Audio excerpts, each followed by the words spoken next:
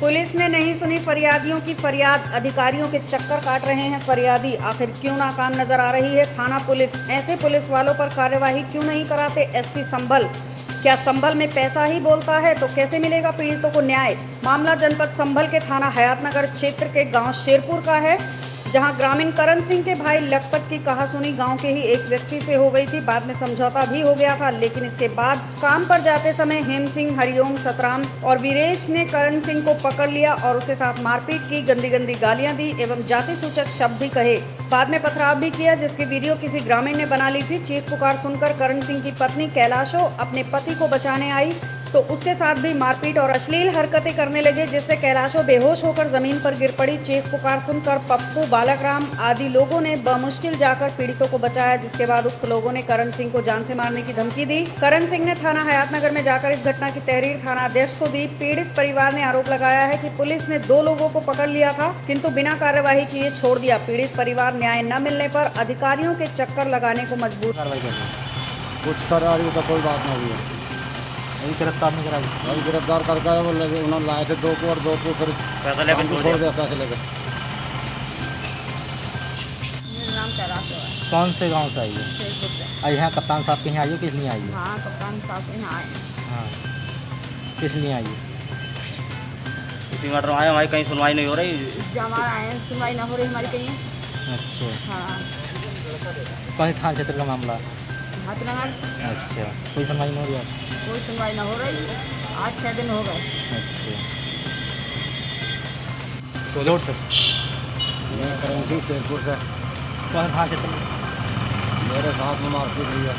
आगे कप्तान के यहाँ आए किस लिए आए और कप्तान साहब के यहाँ आए मिलने के लिए आए थे पेश करने के लिए। और कैलाश है पत्नी लड़का है सचिन नाम का। उसका पैर पूरा पड़ा है। पैरों से भी हाथ पूरी पड़ी है। क्या मामला? मारा था घर घर में मर कर करके मारा। किस नाम किन लोगों ने मारा? यादव ने मारा था। क्यों मारा? हमें कोई पता हमें काम नहीं आ रहा सरकारी लैटरिन बनाने जा रहे हैं प्रधान के। यहाँ जानकार द्वारा काम करते हैं। जी। तो हम काम करने से पहले पहले आठ बजे पहले पहले मोहल्ले आ गए। किस लिए बुला के मारे न पता हमारे भैया का कोई बात हो गई थी। उन्होंने वो ही मार लिया। उन्होंने बहुत मारा और रात उसने बताया उन्हें किसी ने बताया वो गाँव वाले क्या दिनों और जो है धीरेश धीरेश ने रोक कर इन पर जो है कर अपने दी घर पर मारा है ना? अपने घर पर रोक कर हाथापाई कर दी।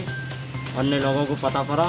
आज के पड़े थे लोग तो पूरा गाँव जो है पल्ली तरफ़ से एक तरफा हो गया। आके जो है छत्ता पर चढ़ गए वो लोग। उन्होंने गुम्मा अड्डाबाजी जो है खूब बरसाई थी। पप्पू का घर जो है बराबर में है। ढोर भी बंद रहे थे वहाँ पर ढोरों के पचासों गुम्मे ढोरों के लगे हैं। और जो है हमारे तीनों चारों को चोट आई हुई है। करण सिंह के और सचिन के कैलाशों के। अब यहाँ कप्तान साहब के यहाँ आए किस लिए आए कप्तान साहब के यहाँ साहब इसलिए आए हैं कोई हमारी सुनवाई कहीं से कहीं तक नहीं हो रही है। हमने सोचा उनके कप्तान साहब के और पास पहुँचें सुनवाई हो ही जाए लेकिन हमारी सुनवाई कहीं से कहीं तक नहीं हो रही। गरीब आदमी है साहब। गरीब आदमी है। किसी ने सुबह से लेकर शाम तक काम करते हैं जब जो है कहीं शाम को रोटी पल्ला पड़ती है। नई ज़मीन है कोई। लोगों को उठाया अच्छा कितने लोगों को गिरफ्तारी करी पुलिस ने अब तक? दो लोग को उठा लाई कल पुलिस। हाँ। शाम के टाइम जो है पैसा लेकर उन्हें छोड़ दिया। अच्छा।